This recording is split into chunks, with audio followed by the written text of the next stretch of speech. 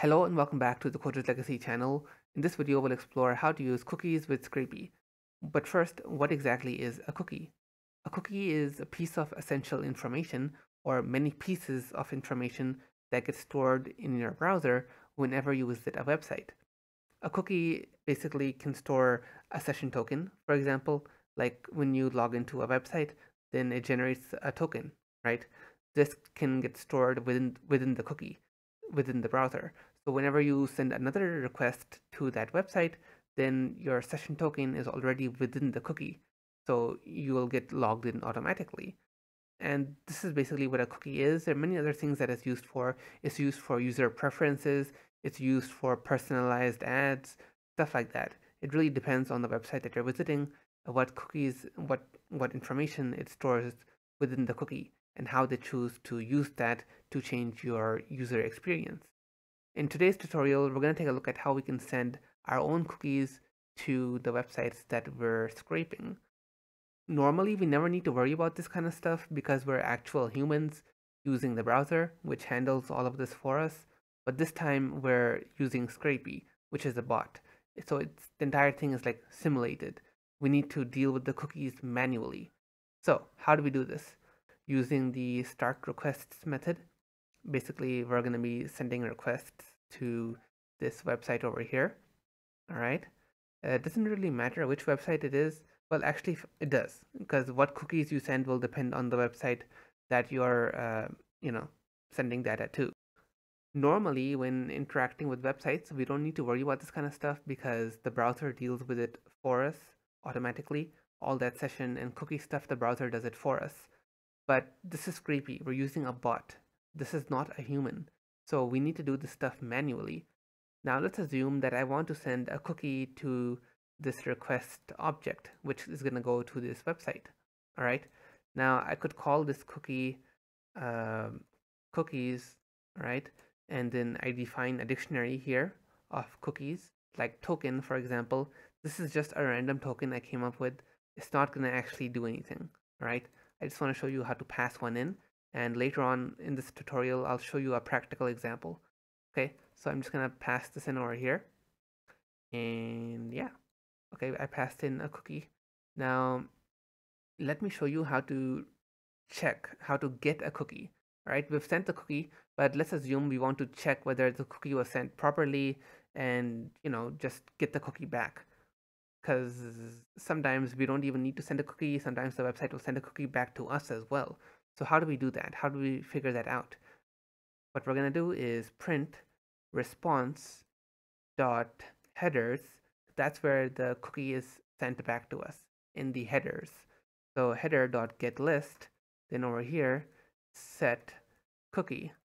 All right. Now I'm going to run this code I know it seems a bit confusing right now. Just hold on, wait till the end of the tutorial and you'll understand this a bit better. Okay. So here is our cookie. Okay. Uh, and as we can see, the cookie is called a session. Okay. This is what the website is using. The website uses a cookie called a session. This is what it has returned to us. You might be a bit confused right now because this is not the cookie that we sent, right? But this is the cookie that the website returned to us. Let me show you how to get the cookie that you actually sent. We do response.request.headers, then get cookie. And this should give us that cookie that we sent. There are two different cookies, you know, the ones that we send and then the ones that the website returns to us, and there it is. This is the cookie that we sent to the website and we can get it from the request headers. But the cookie in the response headers is the one that the website returns to us. Okay.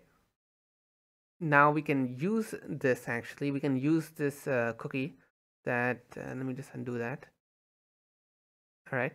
This uh, cookie it has sent to us, we can now use this in future requests.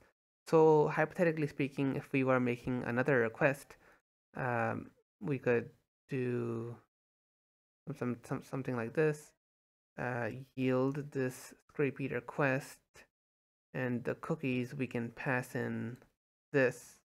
Uh, you need to do some formatting on this though because um, let me just scroll up. This is unique you kind of need to like parse this a bit. You need to split it first of all um, across that semicolon etc etc you just need to uh, get this out of here out of there okay? And then once you do that then you can pass it into the cookie and you know you can basically reuse that session token with this request. And this can have you know benefits based on the website that you are scraping okay? You may or may not want this. Let me show you something else interesting though. I'm going to come over to this website. Let me just log out because i was logged in. I'm going to show you how to find out what cookies a website is using i mean i, I did kind of just show you how to we can just use this to find out what cookies it returns but i want to show you an alternate way just go to the login page or whatever page you want to on that website where you think cookies are being used, then since this is a, a dummy website, we just type in whatever. Okay. And then I'm going to press login. It'll log me in because it's a dummy website. Then, wait, I forgot. Oh, okay, it's here. In network, go in network, and these should be here. Click on login, and then go on cookies over here. There are many uh, of these headers, payload, preview, response, then there's cookies over here. It's going a bit out of screen, but okay, uh, out of the recording area. But this is the cookie, okay? It shows you the cookie over here session and then the value of it. So what practical benefit exactly can we get from this? Well, we can observe the cookie being used and then go back and then use them in our own requests to this website. Okay, now, I have a whole video on automating logins in Scrapy, so I advise you to go check that out, okay? And then you can implement the cookie concept in there if you want to. But cookies are basically very generalized. Like, uh, for example, there's uh, language. Language is also a very common cookie. Uh, now, the exact key name is probably going to vary a bit from website to website, but this is just an, an example. So the language language is usually EN, which is English and might be different.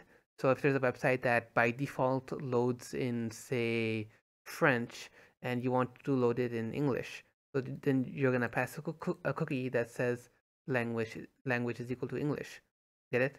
That's the entire point of cookies, basically. User preferences, sessions, etc., etc. All right. So this video was very generalized. I know we didn't really discuss anything too practical, mostly theory kind of, and just testing but uh, that's what scraping is like. You can't really hard code this stuff because every situation is different depending on the website that you're scraping. Regardless, I hope you found this video useful and informative. Subscribe to the channel for future updates like this, future content about Scrapy. Alright, see you guys in the next video.